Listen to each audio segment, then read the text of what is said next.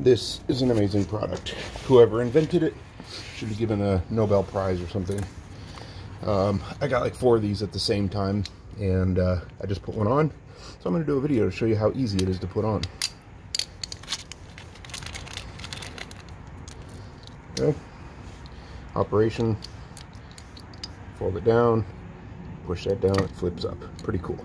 So you're putting it in a down position. You put it where you want. Sitting flat on your door.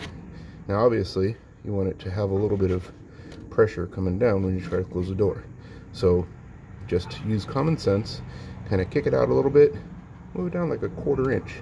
Okay. Then you can see that there's going to be pressure on it. Okay. Now hold it there put a screw in one of the two side holes.